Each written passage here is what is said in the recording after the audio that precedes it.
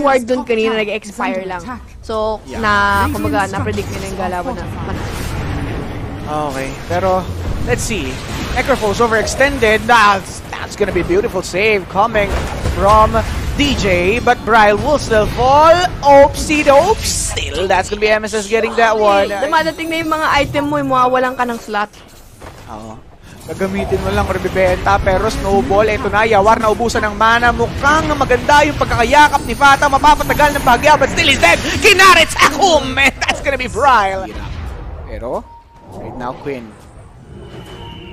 Maghanap ng mabibiktima. Pero ang ganda ng ward placement ng Fnatic. Magiging ready sila. There's gonna be the vessel. But then the ship is there. The carrot na ibiba. Pero patay lang naman itong si Quinn. Though, Bryle won't be able to get that uh, Reaper Scythe kill. Check nyo na yung uh, mechanics doon sa ating Quinn page. Nakapin po yung mechanics nila. Pero eto nga pong si Quinn mukhang mapipin down na ata ng Fnatic still alive. But then again, there's gonna be the vessel. Though, papalag pa. Quinn taking some damage. Beautiful Winter's Curse. Napigilan dito ngayon itong si Jabs together with Bryle. Torrent will connect. And no, no, no. You don't do that to me. Sabi dito ngayon itong si Kunka. Munti ka na siyang mamatay. Pero nauna pa nga itong si Bryle. ka dun sa QC. Isipin mo, Queen Secret pa din. diba? Pero, eto na nga, Beastmaster. Nayakap on time nitong si Wyvern. Coil dropped right now. There's gonna be the hand of God. Very beautiful. Pero eto pong si Pak, hindi siya makakawala doon sa curse nitong si Fata. Good play. Nice lift. Torrent will connect. Barco nandun pa, pero Reaper! Ah, Naliigan na nga dito ngayon itong si Lelis. Lalaban pa ba dito yung Fnatic? Binigay na yung Vessel. Pero etong si Bryle, mukhang kailangan naman akbo. Ghost Shroud with the heal. DJ will be sustained as well. Fata palipad-lipad sa My Gedli. Nila dito ngayon yung punuan. Makikita ata nila dito ngayon si Fata. Beautiful Ice Shard. Makakanakaw. Pero yun na nga po yung Snowball right on time. Sabay sabak! Still have enough disables, enough damage to get some kills. Pero DJ, din visibility room. Susubukan kumulit. Walang vision. Yung Sonex, they might be caught off guard. Tamang sapak. Walang magawa si MSS. Ano nanakaw? That's just Blade Fury. Nasagasaan na nga dito ng barko. Etong buong tropa. Pero Lelis namatay na. And that's gonna be the coil used up just to stop the TP of Wyvern. Both, meron silang roar, they have curse, yung stone gaze available, di ba? So, if they could execute those spells easily, oy, Pero DJ, subukan niyang mag-initiate dito ngayon daw. Di niya nakita itong si Beastmaster pero look at Dubu. Nilalamon siya dito ng mga alaga ni Beastmaster pero etong si Lelis. Hindi niya ata kilala yung rivalry tribe, ba? Marami pong ano dyan, marami pong pwedeng tumulong sa inyo. If ever may mga questions kayo sa or with regards rivalry. Pero lalaban pa rin. Jabs, tamang kulit sa may likuran. Trying to hold these two down. May nanakaw naman. There's the stolen coil. Pinutol na kagad niya yun. Though, makakawala ba?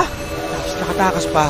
That's gonna be the hand of God popped off by this Chen. Pero Jabs kumukulit pa rin sa likod. Ayaw pa rin nilang ibigay itong laban na ito. Though DJ very low. Sinusubukan ni sustain sarili. Naging bato muna dito ngayon itong si Chen. But DJ still alive and kicking.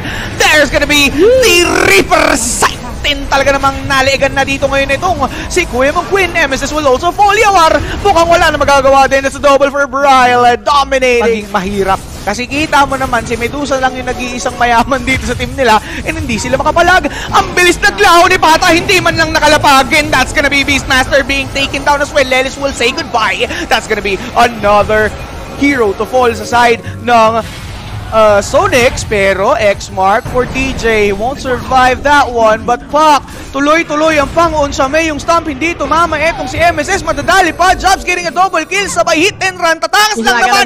May kaway pa it dito ngayon itong si Kuya mo, Jobs. Pero mukhang na hold down niya dito yung natitirang heroes ng Sonix nang walang kahirap-hirap. Hindi man lang pinagpapawisan dito ngayon itong si Pak. Pero susubukan din lumaban dito ngayon itong si Bryle. Itong si Fata, sinubukan kulitin itong si Jabs. But then again, look at Fata. He's gone. He's out of that one. May kasama pang pause. at sabay Yun. lag pa nga. Grabe naman yun. Ali-alin, yung ano? ayan, ayan, na 2-0 din, na 2-0 pala ng OG yung Thunder Awaken. So, ayan, nasa upper din sila. Medyo, Okay, pero uy, hindi medyo dikit. medyo dikit pero ito, atish, medium. medyo malaki yung kalamangan dito ng Fnatic and dahil nga doon sa pagkaka-post na yun, eh nag-GG na yung Quincy Crew. Yun na, oo. Di ba ano, na. siguro sinabi nila, i-resume nyo na. Kasi mag-GG na rin kami. Ah, okay. Tama, tama. Pero there we have it. Quincy Crew or Sonics have called the GG.